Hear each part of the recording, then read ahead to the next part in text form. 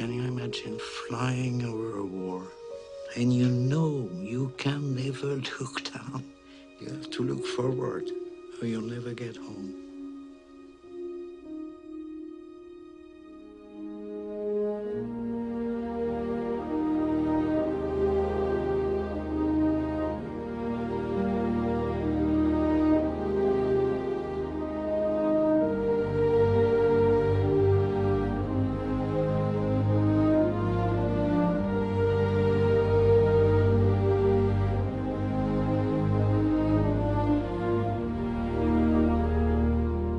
Ask you, what could be braver than that?